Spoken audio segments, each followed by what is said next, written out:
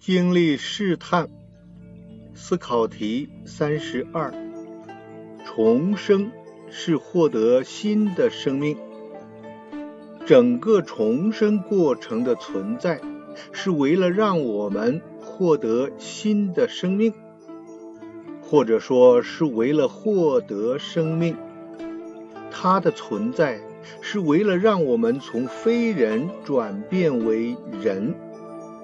或者从死的变成活的，所以当我们以前的并不比动物好的生命状态因遭遇不幸而瓦解后，我们就不能不在真理和谬误之间徘徊。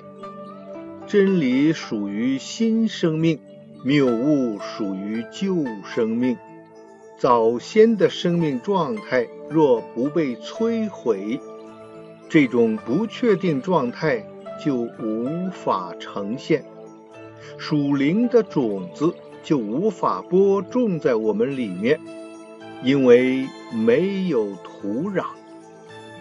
摘自《属天的奥秘》，八百四十八节一。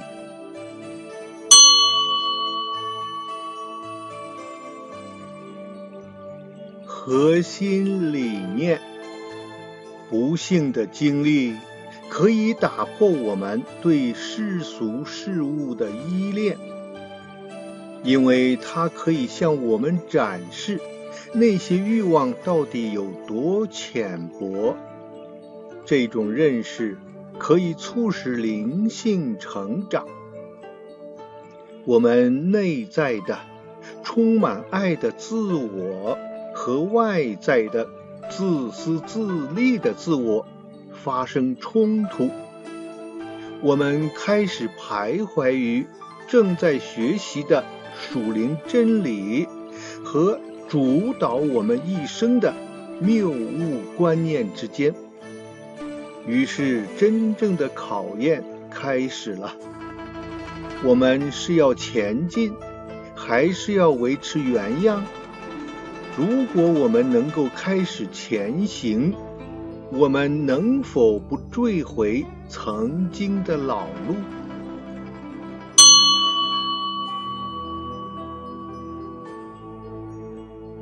反思：你认为自己处于灵性成长中吗？如果是的话，它是如何开始的？在你的旅程中，你是否感觉到起伏？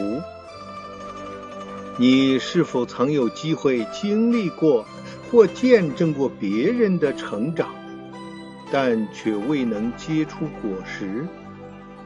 当时的情况是怎样的？